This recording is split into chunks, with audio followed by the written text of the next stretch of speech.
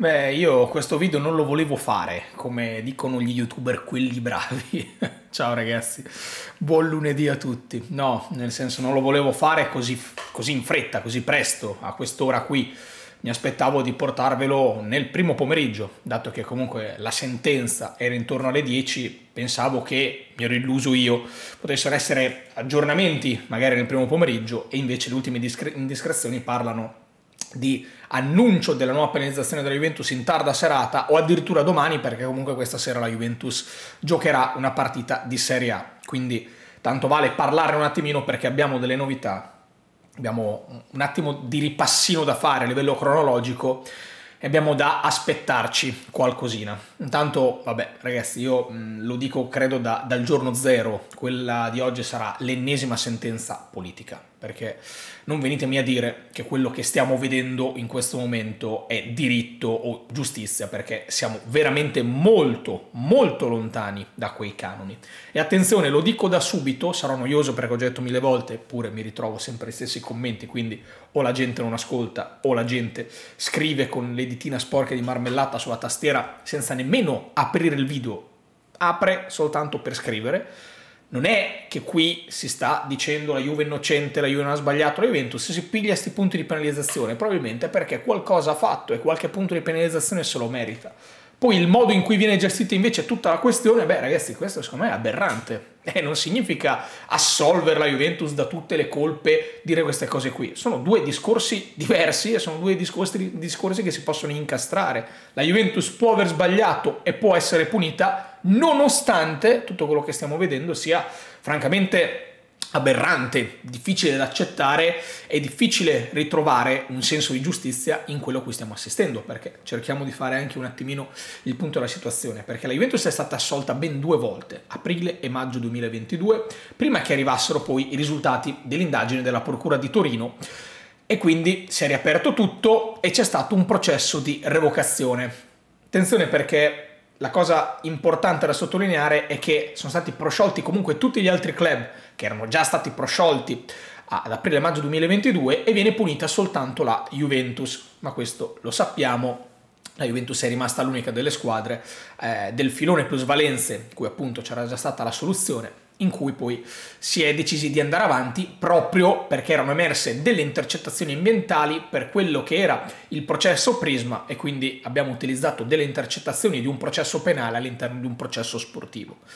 E già qui meraviglioso perché ovviamente quelle intercettazioni ambientali sono state eh, prestate dalla procura a questo processo solo ed esclusivamente perché Juventus era quotata in borsa e come abbiamo detto mille volte non c'è un regolamento differente sportivo dalle squadre quotate in borsa a quelle no. Quindi ovviamente se dobbiamo inserire degli oggetti non sportivi all'interno di un processo sportivo e tra l'altro abbiamo detto mille volte anche cercando abbastanza di decontestualizzare il tutto, secondo me siamo di fronte a una pagliacciata, ma siamo ancora abbastanza distanti da quello che è il giorno d'oggi e ripeto, non è che se considero questi elementi una pagliacciata significa che la Juventus non abbia sbagliato o non meriti una punizione. Non è assolutamente questo il punto. La prima richiesta da parte del procuratore Chinè è stata di 9 punti di penalizzazione alla Juventus. Sappiamo bene che invece dopo il, il, processo sono stati attribuiti 15 punti di penalizzazione da parte della Corte federale d'appello.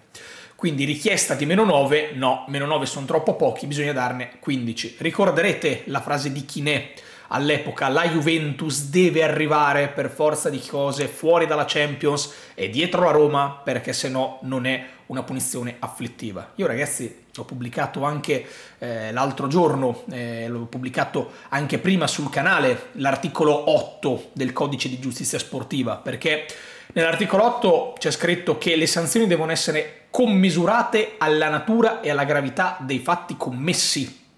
Ok? E poi si parla di classifica che deve essere, di, di punizione che deve essere afflittiva. Però non è che possiamo partire dall'afflittività e costruire qui la penalizzazione, la punizione, perché, ripeto ancora una volta, deve essere commisurata alla natura e alla gravità dei fatti commessi. Anche perché, intendiamoci, se ci fosse stata una penalizzazione a inizio campionato con tutte le squadre a zero punti, quale sarebbe stata una penalizzazione afflittiva? 30 punti nel, nel dubbio, 40 punti nel dubbio, 50, 60, 100? 100 come faceva Iva Zanicchi, ah, ok il press è giusto, facciamo girare la ruota e quello che viene fuori sono i punti di penalizzazione. Cioè non si può partire dalla fine, e cioè voler punire la Juve e quindi risalire il regolamento per cercare di trovare un incastro. Bisogna analizzare quello che è successo e in base a quello che è successo scorrere il regolamento, trovare il cavillo che è stato violato dalla Juventus, che ancora una volta, la terza volta nel video, non sono qui a dire che la Juventus sia innocente, se ha sbagliato si scorre, bene, ha fatto questo, la, la punizione è questa. Non individuare la punizione e poi risalire la corrente come fanno i salmoni. No, sono due cose completamente diverse. Quindi richiesta di 9, attribuzione di 15. Ricorso al CONI, annullamento della penalizzazione, però un annullamento con rinvio proprio perché la penalizzazione non era stata motivata a dovere e quindi quei 15 punti erano stati ritenuti eccessivi.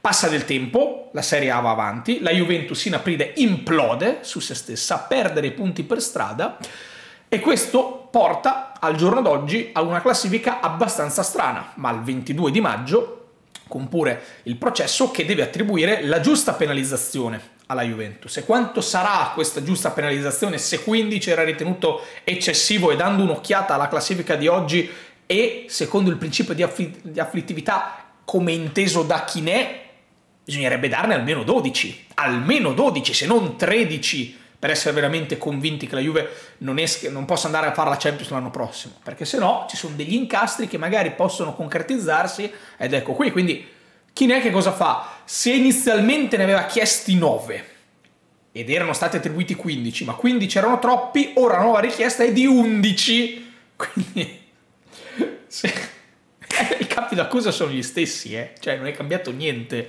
L'unica cosa che è cambiata è stata la classifica. È stata la classifica. Questa è l'unica cosa che è cambiata. Che nel frattempo si è evoluta molto più a favore della Juventus che è seconda in classifica. Quindi bisogna farle perdere il secondo posto, il terzo posto e il quarto posto.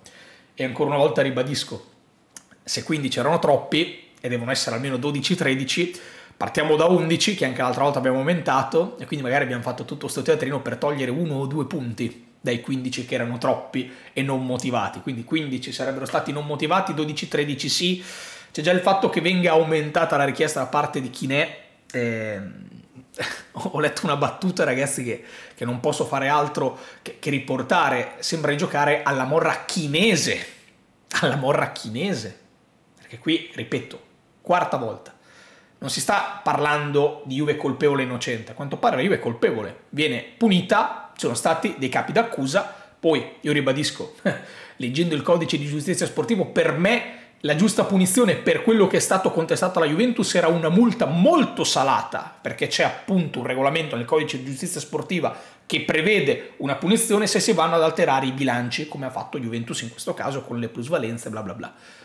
Si è inserito un discorso di, ehm, non mi viene il termine, di lealtà sportiva per via di un articolo 4 che è stato buttato dentro, e l'abbiamo già detto mille volte, c'è la norma specifica, è stata utilizzata una norma generale perché, secondo l'accusa, sono state ampliate alcune cose, d'accordo, va bene, penalizzazione, però, eh, ragazzi, eh, a me sembra di essere di fronte a una favola, siamo di fronte a una favola, mm, non lo so, mm, mi pare veramente di sognare quando leggo certe cose, perché io, io ve lo dico, prima che, che esca la sentenza definitiva, io mi aspetto almeno 12 punti di penalizzazione, almeno 12 punti, perché non possono mica rischiare qua che, che, la Juventus poi possa con un incastro specifico arrivare comunque all'interno della Champions League, dato che è chiaro sin dall'inizio la volontà è far arrivare la Juve fuori dalla Champions, ma non è che lo dico io